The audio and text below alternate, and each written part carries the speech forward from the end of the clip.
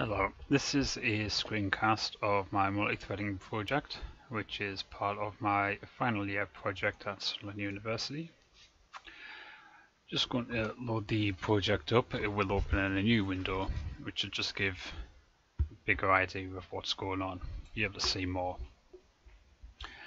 So the project is designed to give a visual representation to the effects of multi-threading in use uh, once the system is loaded, if you just position it so you can see the full field, left click, and then we can maximize its screen.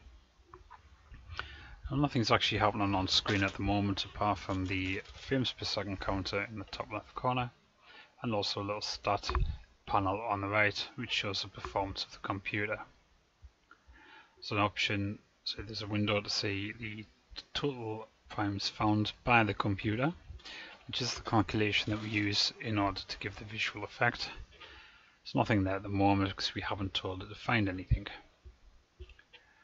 So to do this we can start off by inputting the amount of prime numbers to be found.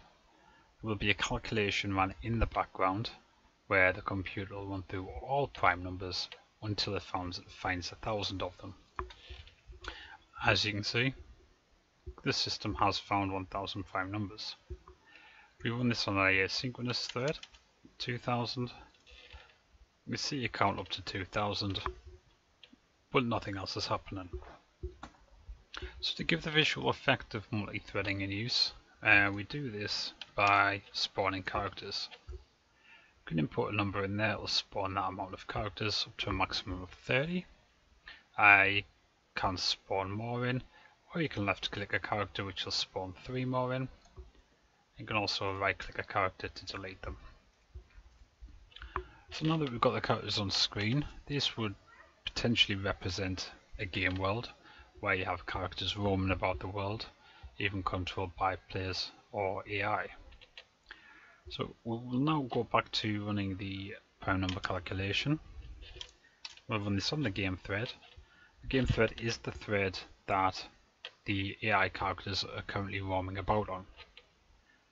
If we run that calculation, we can see that 2000 prime numbers were found. Nothing really happened.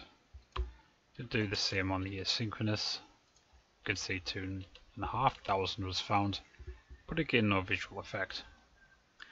The visual effect comes when we increase this to a large amount of prime numbers, so the system now needs to find 25,000. So when we click the button you can see that all the characters are frozen. They'll freeze for a particular length of time or however long it takes for the computer to actually find 25,000 prime numbers which it has said it's found. Yeah, if we run this on the asynchronous thread which is a separate thread to what the characters are running about on and it uh, runs parallel to that we can see that in the top left corner it's counting up the amount of prime numbers that it has found and there is no effect on the characters whatsoever. They continue to walk around. Now that is the visual effect that the system was aimed to design.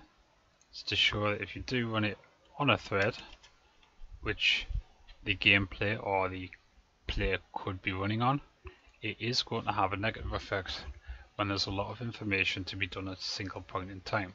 This could be loading new graphics, um, performing some kind of calculation, and it, the user's not going to find that an enjoyable experience.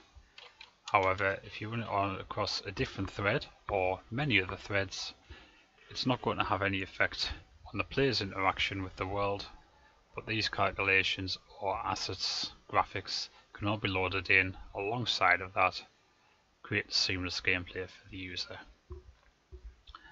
Now if you do want to reset the game at any time, just click the reset game button in the middle.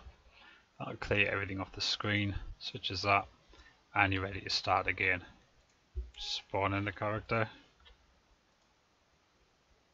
and let them walk about and demonstrate the effects using the game thread and asynchronous thread calculations.